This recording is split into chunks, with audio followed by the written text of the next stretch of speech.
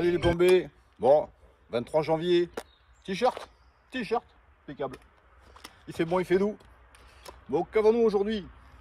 La M3 Impact MFX. Carabine référence de chez FX. Hein, modèle qui connaît un grand succès. Vous la connaissez, c'est ma première. Voilà, je vous la représente vite fait. Aujourd'hui, euh, je vais lui faire faire un petit test. Ça fait quelques temps que je ne m'en suis pas servi. J'avais envie de lâcher du plomb avec un chargeur de 21 ou 23, je sais plus, 26 je crois. Avec un chargeur de 26, ça va donner. Donc euh, bah, pour ne pas faire ça inutilement, je vais faire un petit test plomb sur deux types de plomb. Je vais vous les montrer. Et puis euh, si tout ça est bien réglé, impeccable, ça fait longtemps que je ne pas tiré avec, je vais essayer de voir si, tout est ok. Eh ben, je partirai sur une jolie petite séance de plinking euh, qui fait du bien. Voilà. Pour vous poser la chose. Allez, je la pose là.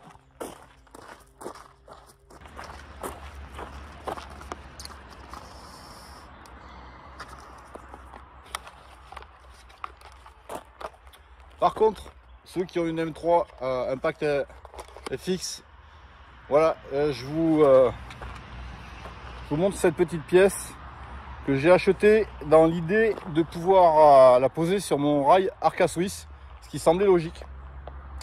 En fait, voilà, bah, écoutez, ça ne passe pas. Ça se monte sur, le, rail, il n'y a pas de souci. Mais l'emplacement de la bouteille ne permet pas de fixer cette bouteille sur le petit rail qu'il y a sous la M3 que vous avez ici. Je vous le montre de près. Voyez le petit rail que nous avons là. Donc si vous voulez mettre votre rail à type Arca Suisse pour mettre le truc, il faut que vous le passiez ici. Et vous voyez, c'est totalement impossible. Voilà, il n'y a pas la possibilité. il n'y aurait pas la bouteille, ça irait, mais il y a la bouteille, donc on on peut pas le glisser. Donc voilà, je vous le dis, ne faites pas l'erreur d'acheter ça pour pouvoir euh, accrocher votre M3 sur, euh, sur un tripode Arca Swiss. Ça ne conviendra pas. J'ai voulu éviter d'acheter le, rail Arca Swiss complet.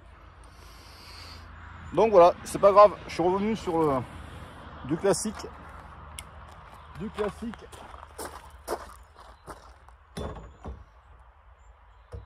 Un bon trépied fixe bon support fixe et ça prend très bien.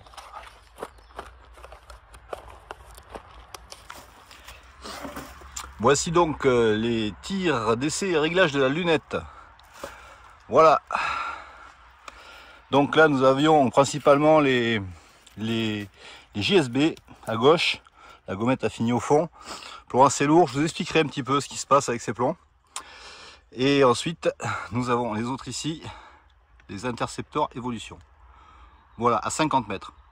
Euh, la précision et la régularité est juste indécente. Je me suis permis de chercher à couvrir toute la gommette, grosso modo. Ce que je cherchais à faire aussi là, avant qu'elle disparaisse au fond du papier. Donc, on va faire les JSB ici, avec quelques tirs au milieu, et quelques tirs sur les gommettes noires qui sont ici. Ah, mais il y en a une qui est partie, mince. Gommettes noires ici, qui doivent venir, euh, qui sont des splatchs, donc euh, elles vont devenir fluo jaune. Et ici, on va faire les, les Evo Interceptor. Voilà. On va faire un chargeur de chaque, 21 coups. Ça vous donnera une idée de la précision de ces deux types de Diabolo, un pas cher et un de qualité JSB, donc assez lourd, en 25 grains et quelques. Et l'autre, je crois qu'il est en 15 grains et quelques. On reverra ça. Je vous parlerai de tout ça plus tard parce qu'il est déjà 17h15 et j'en ai pas pour longtemps avant que la nuit arrive. Alors pour vous dire si je suis confiant, euh, j'ai approché mon, trépied au maximum caméra cible et il est véritablement en face des cibles. Vous voyez, regardez, trépied, il est en face des cibles. Donc euh, euh, je peux vous dire que je suis confiant dans mes, dans, mes, dans, mes, dans mes tirs et dans la régularité de la carabine. Allez, c'est parti.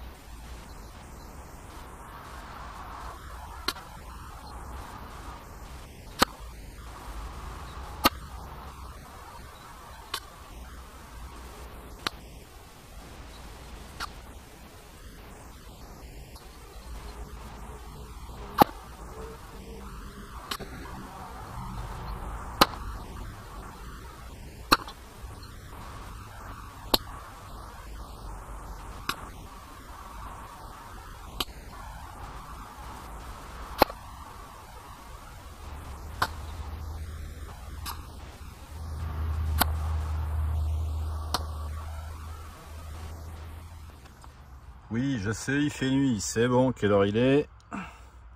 6h20, ok, 18h20.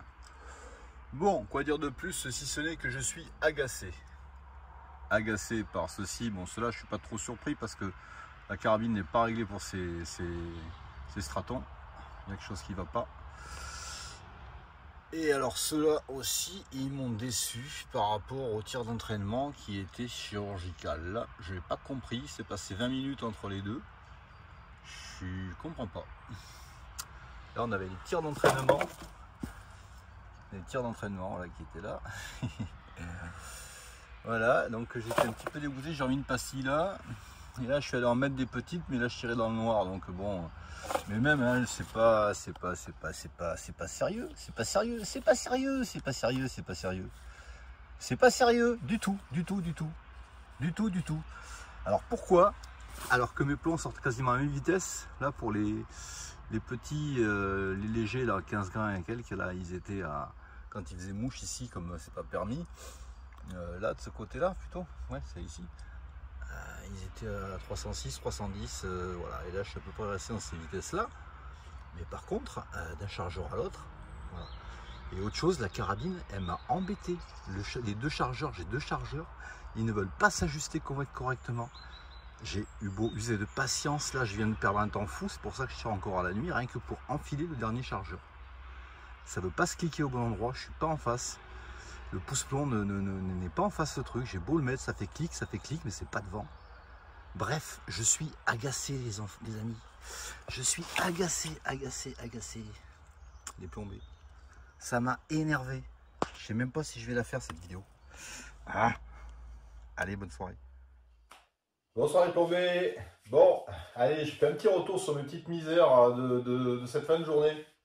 Et je vais plutôt m'adresser, on va dire, à, aux, gens qui sont un petit peu pointus, un petit peu spécialistes et qui savent bien un petit peu comment fonctionne le PCP et tous les petits aléas qu'on peut avoir avec les différents réglages. Voilà, donc cet après-midi, comme vous l'avez vu, fin de journée, je suis allé essayer donc les plombs Evo Interceptor, voilà, qui font, euh, qui font 15 grains 43 et les plombs Straton, les plombs Straton qui font 23, 25 euh, grains 39. Voilà, je vous les remonte pour la... Tac. Je sais pas la présence vous les avez. Donc voilà. Alors écoutez, j'étais plutôt content parce que euh, j'avais de bons résultats au, niveau de, au niveau des réglages, au niveau de l'entraînement. Bon, déjà la lunette, j'avais remise dessus celle-ci, avec les règles. Donc pour les stratos, ça tapait tout en bas à gauche, euh, un peu dégroupé, euh, mais j'avais pas de vitesse. J'avais pas de vitesse. Euh, j'étais à 220 sur le premier tir. Petite parenthèse, si vous voyez du bleu, cherchez pas à régler votre écran. À votre écran, je viens de faire cramer un pâté à la cuisine tout à l'heure. Donc il reste encore un petit peu, là je me rends compte maintenant avec l'halogène, un petit peu de brouillard bleu. Bon, c'est pas grave. Et donc je disais donc que j'avais des vitesses basses avec les stratons. J'ai commencé par voir les régler, j'ai dit je vais faire le réglage de la M3 avec les stratons. Bon, euh, étant donné que c'est les plus qualitatifs, normalement, euh, j'ai dit on va faire le réglage avec cela. Alors, euh, mes vitesses étaient basses. On était à 220. Donc, j'ai augmenté la, roue progressivement. La grande roue, tac, tac, tac. Un peu la petite roue, ainsi de suite. J'ai eu beau monter, j'ai eu beau monter. Je suis arrivé au maximum. C'est-à-dire que sur la grande roue, là, je suis à... Euh, je suis à 18, 16. Euh, c'est 16, ouais. C'est 16. Je suis à 16 et je suis à 5. À 5. à la H, je suis à 5 sur la si ça peut vous parler, si vous y voyez clair. Voilà. Et donc, avec cette vitesse-là, avec ce réglage-là, euh, je suis arrivé à une vitesse de 270 mètres secondes euh, au tir d'entraînement. Et j'arrivais à des tirs précis. Mais ça ramait un petit peu, quoi. Normalement, j'étais plutôt habitué à du 286, 287 dans ces eaux-là, avec la, la M3. Donc je me suis dit, bon, ces plans, ils sont, ils sont lourds, mais enfin, ils sont pas si lourds que ça. Ils font que 25 grains et quelqu'un. Hein. C'est pas non plus euh, des baleines. Hein. Bon. Et euh, enfin, bon, j'avais de la précision. Ça me permettait de, faire des cartons corrects. Et je me suis dit, ben, on va faire avec. Alors, ce qui m'a interloqué, c'est mon plénum. J'avais un plénum très élevé. J'avais un plénum très élevé parce que la dernière fois que j'ai réglé la carabine, euh, il était... Attendez, c'est de l'autre côté. Bon, là, c'est quand même bizarre. Là, il y a quelque chose qui cloche. Parce qu'il était à 160, voire 170, le plénum. Et je me suis dit, euh, euh, le plénum n'est pas réglé comme il faut. Il y en a trop, donc euh, l'équilibre ne se, se fait pas comme il faut. avec le marteau, l'air qui est insufflé n'est pas optimisé. Et ça fait du caca avec les stratons. Voilà ce que j'ai pensé. je me suis dit, bon, ben écoute, c'est pas grave, tu rebaisseras ton plénum. Mon plénum était aussi haut, c'est la dernière fois que j'avais tiré, c'était en 7,62. Et donc j'avais réglé pour avoir un peu plus de jus. Mais là, ce qui m'étonne ce soir, je viens de me rendre compte que le plénum, ben, il a baissé. Il est à. Il est à 130, on va dire. Ouais. Pas d'excellentes lunettes. Vous l'avez ici, le plénum. Voilà. Donc j'ai un plénum qui est ici. Ça tourne au moins Ouais. Voilà. Et euh, c'est bizarre. C'est bizarre parce que le plénum, normalement, il ne bouge pas. Hein? Il ne bouge pas. Donc pourquoi il a bougé hein? Je vous pose la question. Qu'est-ce qui se passe? Comment ça se fait que le plénum a bougé alors que je ne l'ai pas modifié? Ah ouais, j'ai compris pourquoi il a bougé. Parce que j'ai... Ouais, d'accord, ok. Ouais, euh, ok, ok. Il a bougé parce que, parce que j'ai continué à tirer euh, ce soir. J'étais assez énervé que ça rentre pas où je, je voulais. Les tirs n'étaient pas précis. Donc là, j'ai aussi mon truc à 130. Donc euh, c'est 110, 120, ok. Donc j'ai la bouteille principale à 130, donc le pédalum, évidemment, il a suivi. Mais quand la bouteille est pleine, quand la bouteille est pleine, euh, eh ben, normalement, il est à 160. Et je pense que c'est pas bon. C'est pas bon pour les, euh, pour les stratons. Mais avec ce réglage-là, je me suis dit, les hauts intercepteurs, ça va être la folie. Ils vont passer le mur du son comme ça. Eh bien écoutez, les Evo Interceptor, à l'entraînement, c'était là où je visais taper. Alors on était à 310 mètres secondes, 313, 306, ils sont descendus à, ils sont restés entre 302, 303 et, voilà, ça a été les, grosses valeurs. Donc ils étaient à plus de 300 mètres secondes et ils étaient hyper précis. Et là, franchement, j'étais bluffé, quoi. J'étais content parce que euh, voilà, c'est pas les plus chers. Hein. Euh, voilà. Et ensuite, euh, je suis rentré chez moi, j'ai rechargé la carabine pour faire le carton final. Et quand je suis revenu, j'ai fait les tirs que vous avez vus en x12 là, parce que ça vaut vraiment pas le coup de les, regarder. Hein. Et là, ça a été du grand n'importe quoi. Voilà, que ce soit, que ce soit sur les, euh, sur les Stratons ou sur les Evo Interceptor, euh, les tirs étaient complètement incohérents. Il y avait quelques groupements, mais non, c'était pas, pas normal par rapport au tir d'entraînement que j'avais eu. Donc je me pose la question de savoir pourquoi. Pourquoi ça m'a fait ça? Après, quand je suis rentré le soir ici, je me suis aperçu que j'avais l'humidité ici. Et je me suis rendu compte que mon, mon shroud là, il était, il était dévissé un petit peu. Il ne remontait pas jusqu'en haut et le silencieux était un peu comme coincé. Et il y avait beaucoup d'humidité par là. Alors, est-ce que, est que ça s'était dévissé et il y avait des vibrations qui faisaient que, quand je suis retourné le, recharger la carabine, euh, et que ça a pu modifier quelque chose entre le, chargeur d'entraînement et l'autre, je sais pas. Bon, toujours est-il, j'ai tout dévissé, j'ai tout remis en place comme il faut. Euh, voilà, je pourrais que retester pour voir ce que ça donne. Parce que les résultats après du tir sur cible, vous avez vu, euh, alors le pire ça a été même avec les Evo Interceptors à la fin où j'y voyais pas grand chose, mais j'y voyais suffisamment pour arriver à prendre une, une, cible en mire. Donc je l'avais très bien dans, le viseur. Et j'ai vu que les tirs étaient... Euh, il y en avait dedans et il y en avait en dessous. Un peu n'importe comment. Alors qu'auparavant, elle m'avait tout mis là-dedans, à 50 mètres. Donc pour quelle raison euh, eh ben, Je m'en remets aux spécialistes. Qui vont pouvoir m'expliquer les histoires d'harmonique, les histoires de, bonne pression, de bon flux, de bon réglage de marteau. Toujours est-il, là j'ai un marteau qui est à fond, grosso modo. Et j'ai pas plus de jus que ça, quoi, on va dire. Hein. Voilà. Et qu'est-ce que je voulais dire d'autre? Ah oui, les chargeurs. Alors les chargeurs, ils m'ont enquiquiné tous les deux. Je sais pas vous. Je vais vous les montrer de près. Est-ce qu'ils sont abîmés? Je sais pas.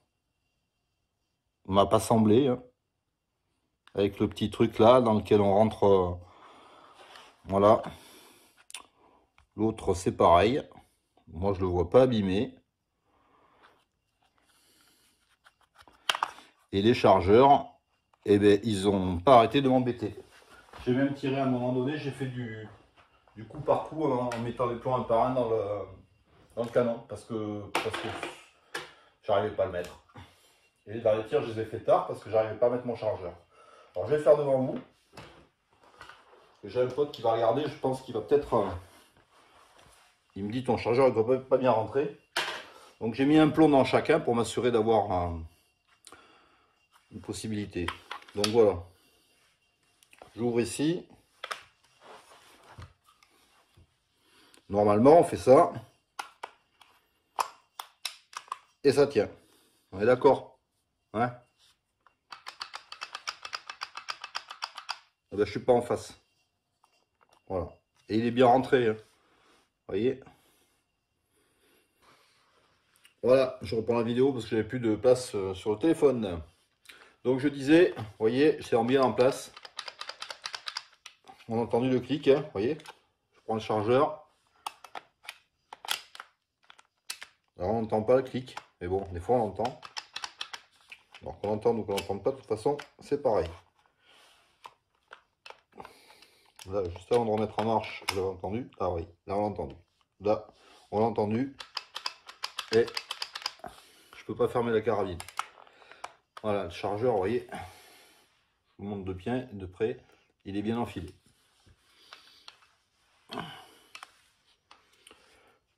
Voilà, il faut que je bataille pendant je sais pas combien de temps pour arriver à...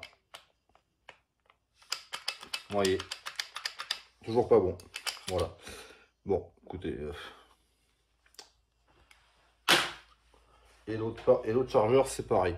Donc, euh, si les deux chargeurs, ça fait comme ça, d'après moi, c'est pas le chargeur, c'est la carabine. Alors, le canon, est-ce qu'il dépasse là, à l'intérieur? Non, il dépasse pas. Hein, il est à l'intérieur. Euh, la, partie laiton du là où rentre le plomb est bien à l'intérieur. Il n'y a pas de dépassement, il n'y a absolument rien du tout. Le picot, il est bon ici. Là. Hein, vous voyez quand on appuie ici. Donc je comprends pas. Je comprends pas du tout. J'essaye avec le second. Voilà. Vous voyez, il veut pas. Je le positionne.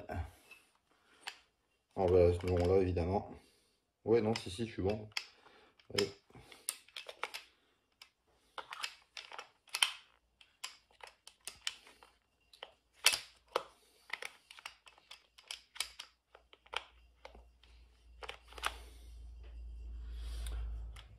Le il est bon.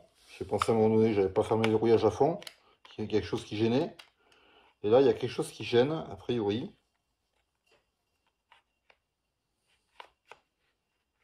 J'arrive pas à voir quoi. Vous voyez, je peux pas le mettre. Je ne peux pas le mettre. Il veut même pas avancer. Ouais, le truc il est revenu. Voilà, là j'y suis, pardon, excusez-moi. Donc voilà, voilà, c'est pas la peine de continuer à faire de la bande pour rien. Euh, je vous ai bien montré ma difficulté à devoir entrer le, les chargeurs à l'intérieur, alors qu'auparavant, j'avais pas véritablement de difficulté. Même si des fois c'était un petit peu embêtant, bon, ça finissait toujours par se clipper. Tandis que là, c'est vraiment une, vraie sinécure pour réussir à l'ajuster. Bon, j'y suis arrivé cet après-midi. Hein. Au bout d'un moment, au bout d'un moment, au bout d'un moment, j'y suis arrivé. Mais euh, voilà, je sais pas, le, pouce long euh, n'est pas en face du, euh, trou sans doute. Hein. C'est évident hein, pour expédier le, le, plomb dans, la chambre. Donc je, regarde ça de plus près.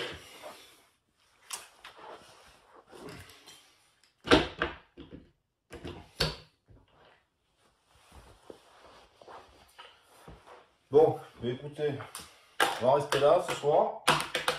Bon, ça m'agace parce que la M3, j'avais toujours de bons résultats avec. Hein. Mais euh, là, j'ai vu les bons résultats étaient à l'entraînement impeccable, avec des vitesses régulières, hein, que ce soit pour le, pour le Straton. Bon, après, 270 pour le Straton, c'est pas normal, là, ça doit tourner plus haut. Hein. Euh, il y a quelque chose qui va pas au niveau du plénum et du truc. Là, je vais, je vais rebaisser mon plénum, je pense. Je vais revérifier tout ça et puis euh, je referai les essais. Par contre, ceci tournait très très bien, hein, à 300, au-dessus de 300 mètres secondes. Euh, il disait vraiment quasiment, euh, j'ai tout mis dans ça à l'entraînement. Puis alors après, ça a été le désordre quand je suis revenu. Est-ce qu'il s'est passé quelque chose? Pendant que je, je, sais pas, là, là ça bougé, c'est dévissé. Peut-être que, bon là j'ai tout remis à plomb, je verrai demain. Bon, voilà, si vous avez quelques réponses à me donner, mais écoutez, elles sont les bienvenues. Et je vous souhaite maintenant une bonne fin de soirée. Ciao